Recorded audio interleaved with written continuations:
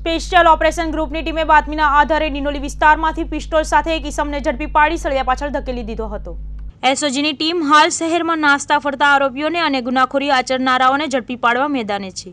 ત્યારે ડિંડોલી વિસ્તારમાંથી બાતમીના આધારે એસઓજીની ટીમે પિસ્તોલ સાથે લઈને ફરતા મૂળ ઉત્તર પ્રદેશનો અને હાલ લિંબાયત ખાતે આવેલા સાઈબાબા મંદિર પાસે રતન ચોક ઝુંપડપટ્ટીમાં રહેતા ગોવિંદલાલજી સરોજને ડિંડોલી પાંડેનગર સામેથી ઝડપી પાડ્યો હતો અને તેની પાસેથી પોલીસે પિસ્તોલ કબજે લઈ તેની વિરુદ્ધ કાયદેસરની કાર્યવાહી હાથ ધરી હતી.